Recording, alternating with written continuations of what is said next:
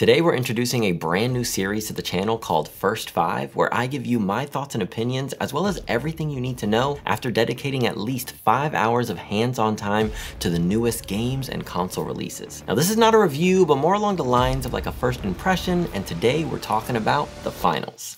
Let me explain.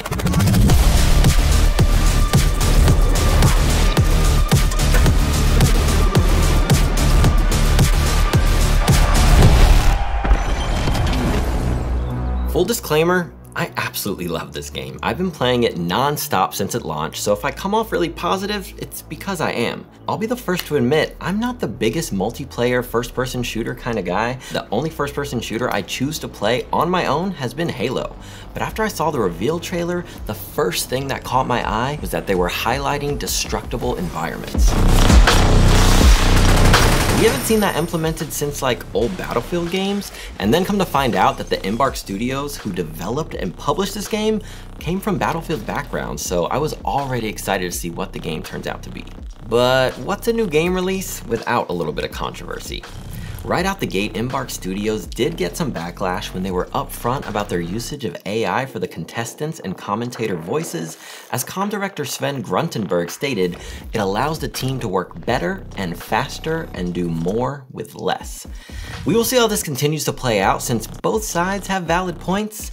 I'm interested to know your thoughts, so let me know down below, how do you feel about AI creeping into game development? Now with that out of the way, let's jump in. The Finals is a team-based first-person shooter where you enter an arena with three teams of three. The main mode you'll be playing is called Quick Cash. There will be first one vault on the map that every team will need to get to in order to bring to a cash out and earn $10,000. But once you get a vault, you need to unlock it by starting a timer and waiting for it to pop out the cash box. And once you get a cash box, you can then take it to any cash out on the map. But now every single player in the game can see where you are.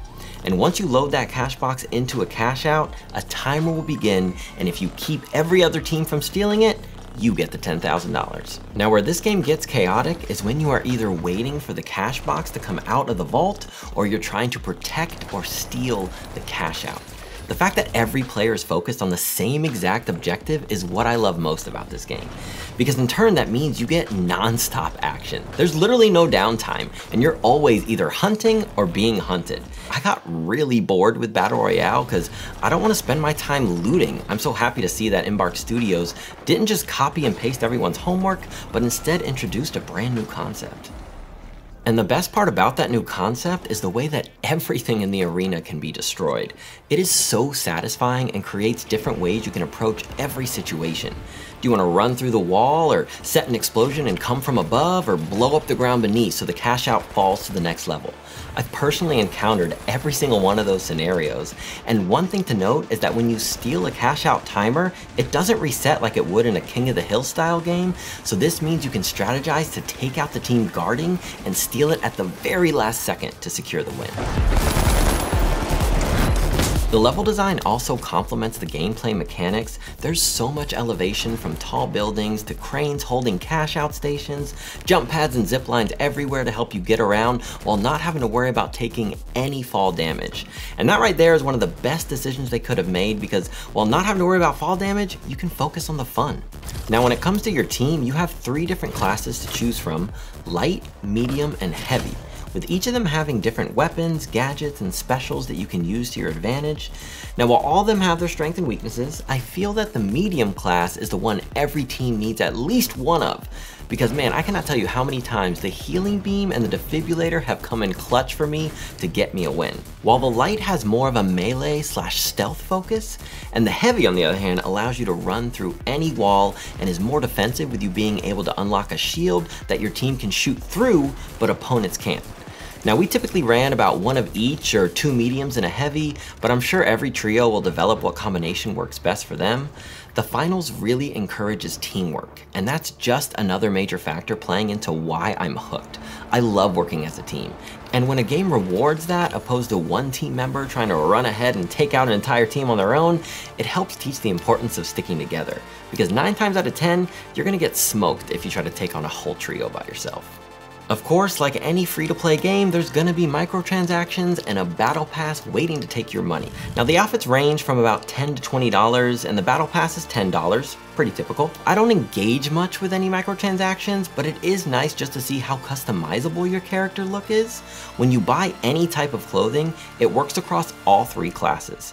So while I still think $20 is way too much for an outfit, I'm happy it can work with more than one class and also goes for any clothing you earn just by playing the game. I should mention that there's also another game mode where it's four teams of three and it's all about earning money for kills and banking the money at a cash out station before you die and lose it all. But I personally didn't play much of that because I enjoyed the main mode quick cash so much more. And once you've played the game for a little bit and you get feeling confident in your skills, you can jump into a quick cash tournament and ranked tournaments and see if you're the team that can make it to the final round. I can't tell you how many times I looked to see if they were gonna give us a release date for this game, and then to see how they just stealth dropped it at the Game Awards, oh, what a moment. I'm so happy I now have this game to add into my regular rotations of multiplayer games and looking forward to see how Embark Studios supports its growth going forward. I can't recommend this game enough, if you can't tell, and you have absolutely nothing to lose. It's free to play, so if you haven't played it yet, go download it right after you finish this video and return back and let me know what you think down below.